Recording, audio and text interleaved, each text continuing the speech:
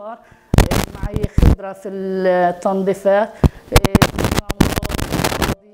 ومعطر وكلور وشغلات لازمات البيوت. ومساعدة الجمعية نش... بقى وضعي صار الحمد لله أحسن بكثير ودخل كويس الحمد لله.